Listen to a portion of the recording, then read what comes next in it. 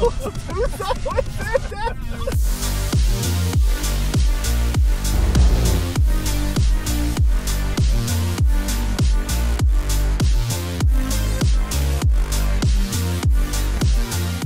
put it in the bank, dude. We won't put it in the bank, Dad. Don't put it in the bank.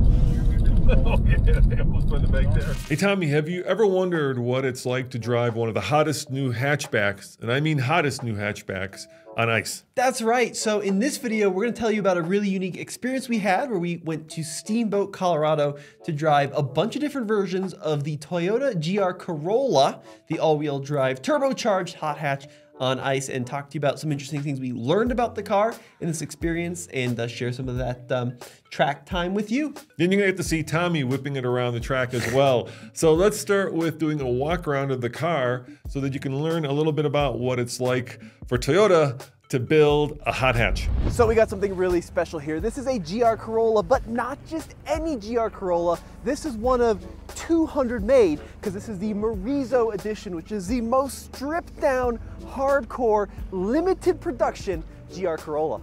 You know, Tommy, I haven't been as excited about a car in a long time as I have for this vehicle because it is just so awesome to have a hot hatch from Toyota when everybody else is going to electric cars, especially one that's got such a cool engine. You want to show it to them? Yeah, for sure. And what we're going to do once we do this walk around is we're actually going to get this thing out on the ice and see how it drives in some slick conditions. Now this is a Morizo, which gives you 22 pound-feet more torque. So this is a three-cylinder engine, just a little guy, but it makes 300 horsepower. And in the Morizo, two 195 pound-feet of torque. But Dad, this is what makes this version so special. You want to take a look back here? Well, it's unobtainium, Tommy. That's what makes it so special. well, special. yeah, that's true. We can't buy yeah, one. you can't get one. There's no back seat. Yeah, so this is the hardcore, stripped down track version. If you want to bring your friends, tell them, to, tell them to ride in the Camry. And then on the inside, you got stuff like the suede steering wheel. You got the suede Morizo shift knob. Check that out. And of course, you got all of the suspension changes, brake changes that make the Morizo even more hardcore than the GR Corolla Core or Circuit Edition. Now, I love it because not only is it fast and fun, and it's got the most unique exhaust out there, I think. Check it out, because of course it is a three-cylinder, Tommy, so... You gotta have the three ports, Dad. You gotta have the one, two, three ports coming out to show exactly what's under the hood. Yeah. But when we first got to drive it. We were on a racetrack, but now we're going to get to drive it on ice. Yeah, and check this out. It's rolling on a set of Bridgestone Blizzak WS90 tires. So they really went all out on this little program out here in Steamboat, Colorado. This is probably one of the only times you're going to see a Morizo edition sliding out on ice. And we're going to get this thing out there, have some fun with it. We'll try um, a couple different uh, exercises and see how it performs with that really cool GR4 all-wheel drive system. Now, Dad, to be honest with you, we probably should have shown any other GR Corolla because the Morizo is the one that they are no longer producing. No things we're selling or are selling at $25,000 over sticker. I mean, it's incredible that a company like Toyota you know, which for the longest time has been known for building the Camry, has now built this incredibly hot hatch. Now let's talk about the trims for 2024. So the base model is the core, and then on top of the core, you can spec something called the performance package, which adds the front and rear Torsen limited slip differentials. Then there's the premium trim, and there's also a circuit edition, and the prices range from 37.5 up to about 46 grand before markups. So you're looking at like high 30s, but more realistically low to mid 40s for this car. And what do you think that after spending some more time on ice, is the value there? Yeah, you know, it competes with cars like the Honda Civic Type R. Yep. Um, the WRX. WRX, the SI is gone, STI is gone. Um, and so it's in a limited uh, herd of new hot hatchbacks, and I'm so happy that Toyota is actually building it. Now in Europe, they get a GR Yaris, which is a little bit smaller, and all the Europeans wish we uh, they could get the GR Corolla. Um, the cool thing about this experience that we had was wait, you didn't answer my question at all. Is it worth the money? Oh heck yeah, it's worth the money. It's worth every penny. It's worth so much more than what they're charging for it because get this, it's got 300 horsepower out of a three cylinder 1.6 liter turbo. And I'm sure you could crank that turbo up to more than 300 horsepower. Yeah, I mean, it's 185 horsepower per liter, which is absolutely nuts. But here's the thing about this car, Dad. You're really about buying that fantastic engine, the six speed manual, the GR4 all wheel drive system with the different um, power splits, which we'll show in a second. Um, but the rest of the car is very much a Corolla. 8 inch touchscreen display. You can spec it with heated seats and a heated steering wheel, but you're really buying that powertrain. And that really is the magic in this car, right? It's a very low frills, for the most part, automobile with a lot of performance. Look, you got a you got a you know balls to the wall sports car uh, that you can uh, take to a track day and at the same time uh, drive to work. Put two of your friends in the back, load up the hatch with you know your dog or your stuff. I mean that is just to me the perfect vehicle for under fifty thousand dollars, and in today's money, that's not a lot. I wish you were wrong on that one, Dad. But the new the fifty thousand dollars is now like the new thirty-five, unfortunately. But let's do this, Dad. Let's cut back to some of the footage of us at least trying to drive it around this snow track, failing a little bit, succeeding a little bit, and um, and then we'll, we'll cut back here.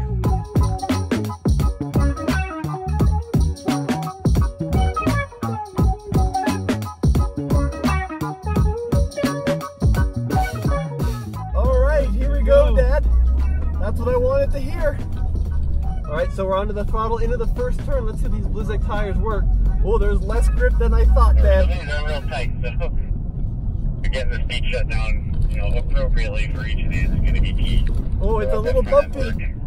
Right, this is set up for track work, Tommy. We're going yeah, through a chicane here. This is set up for rally work, Dad. This is a proper rally car. Wow, it's actually so fun. It's so small and nimble through this course through this little chicane here in the first. A little bit of wheel spin. Getting a little sideways. Look at that, Dad! a lot sideways. Wow! Kicking sideways again. Bone killer. Oh, wow. two sideways there, Dad! Oh no! Wow!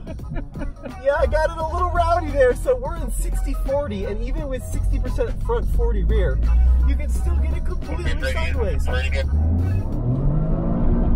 the limiter, of course, hard into the first turn. You go straight out there, Tommy. There you go. Whee! Get that steering in a little earlier so you can start taking the steering out earlier. Oh, Dad, this is so much fun. I have decided I now immediately love the GR Corolla.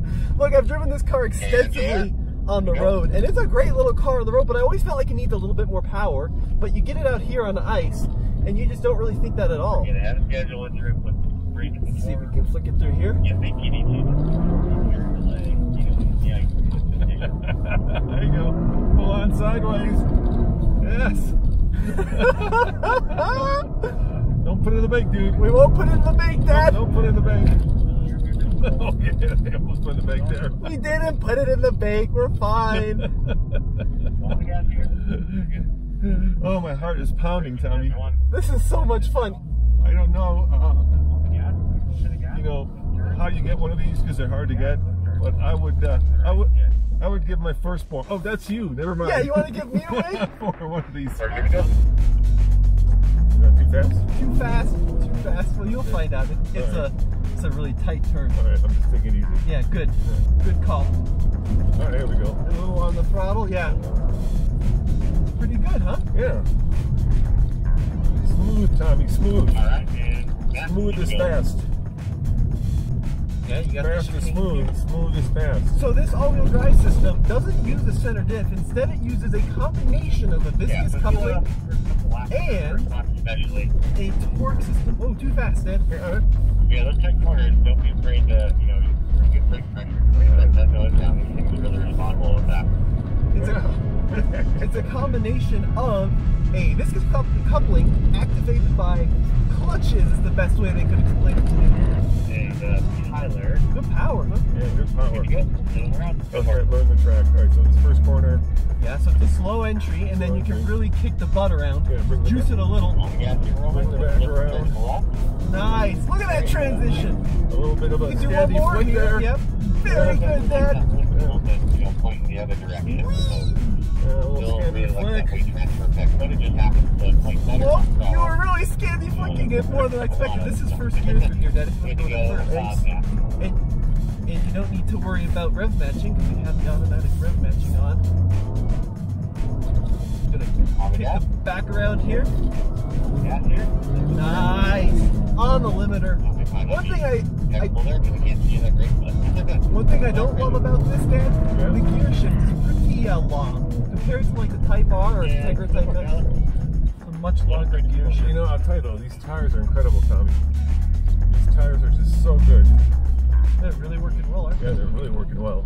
Now, the cool part about that drive, Tommy, was that they actually had us drive three cars, and there are three different settings in the car. So you can change the torque split between the front and the rear. And you want to tell them what those three torque splits were that we drove around the ice um, track? Yeah, there's a 60-40 split front back, a 50-50, and a 30-70. And what this exercise allowed us to do was go from one to another to another with all the safety nannies completely disabled and feel the difference. Now, from my impression, I mostly preferred, believe it or not, the 60-40 front split. And that's because I will be completely honest, I do not have the driver skills to completely and effectively manage that quick oversteer action in such a small wheelbase. With the 60-40 front split, you are easily able to get the back end to come around and have some sliding fun, but it was much easier to regain control on that counter steer because you have a little bit more oomph going to the front wheels.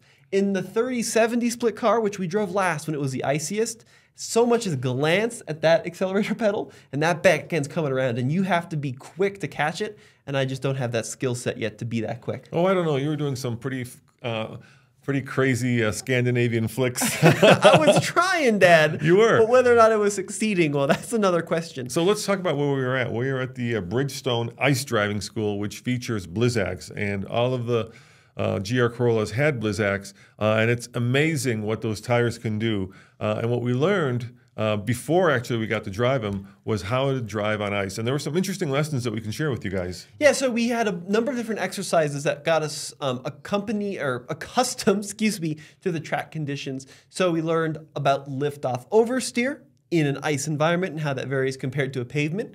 We talked a lot about um, uh, separation of controls, the difference of braking, accelerating, and steering, and how on a really icy environment you have to do one of the three, but you can't do multiple or you're going to overwhelm the grip level on the tires because by the end of the day, this track was just a sheer sheet of ice. So we got a lot of great practice perfecting our ice driving abilities, and it was a great experience being able to sit in a controlled environment and have that knowledge. Yeah, there were two lessons that really stood out for me. First, and this is very common for most uh, high speed driving classes, you will go where you are looking. Sure. So if you're looking into the berm because the car is heading into the berm, you will go into the berm. Right. Or I should say, in this case, ice uh, bank. That's right. Because what happens over time, um, it thaws and freezes, and what looks like fluffy snow is not fluffy snow.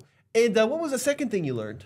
Uh, well, uh, Bridgestone claims that you can actually get better performance on a studless new technology Blizzak than you can with traditional studded tires. Yeah, it's really interesting. And um, they, they talked a little bit about that, and we've had some experience with that in the past. But they claim that their new soft compounds on a standard icy condition have the performance of a studded tire. And I'd love to go back there and compare them side by side and see uh, how those compare.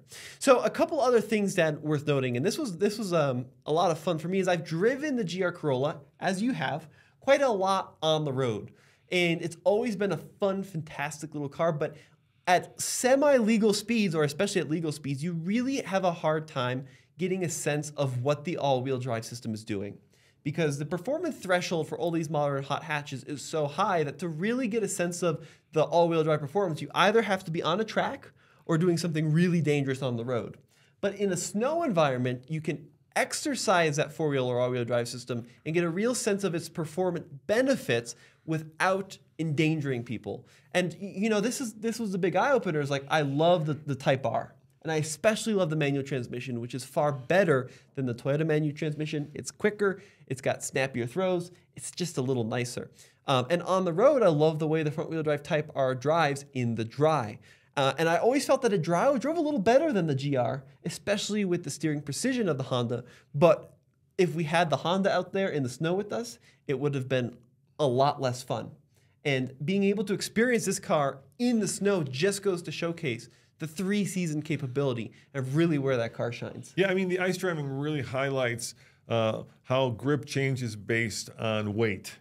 Um, so when you're accelerating, obviously all the weight of the vehicle goes in the rear wheels. When you're braking, it goes on the front wheels, and that translates to grip. And on ice, it's a really stark reminder of how you can either control the vehicle using throttle or the brakes. Uh, based on how much grip and how much weight transfer you have. The other thing I learned, Tommy, you want to know what? What? It's much easier to drift a car on ice than it is on pavement. yeah, I think we probably could have guessed that. Um, but then a lot harder to regain control once you got that slide going. So I want to do one more uh, piece of video here, and that is I got to go um, this time in anger around the ice track with one of the professional drivers. So let's roll that video. All right, Nick, you gonna take us around the track? We'll try to. Yeah. Now you drive race cars in the summer, right, Nick? Mm-hmm. So uh, what do you drive? I drive Euro NASCAR. Okay. Is that like a European NASCAR? It's European NASCAR, yeah. Wow, that's crazy. I didn't know there was a Euro NASCAR. Stock cars over in Europe, road courses, and this year we get to run an oval for the first time in a while. And the Europeans will put up with an oval, huh? We'll see. All right, let's see. Can't wait. Is this fun? The most fun I've had all day.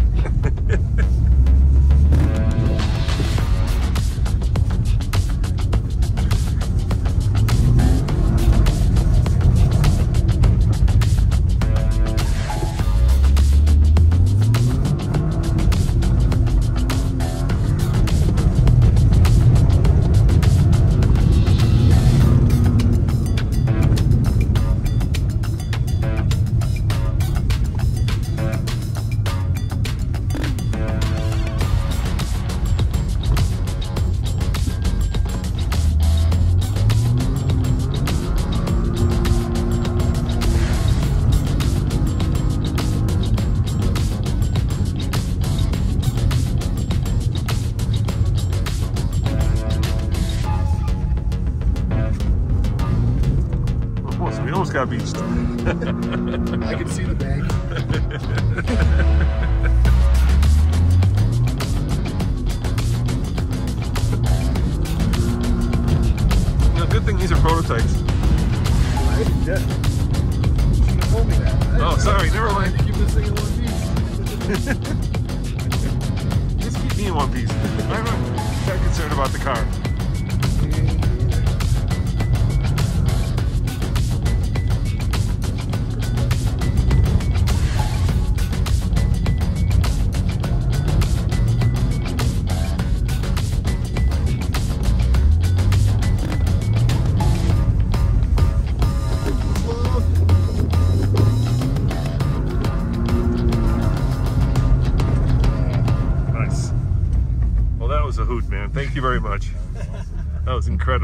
Now, Dad, the last thing I want to talk about with the GR Corolla is just what a monumental shift in mindset this car represents from Toyota.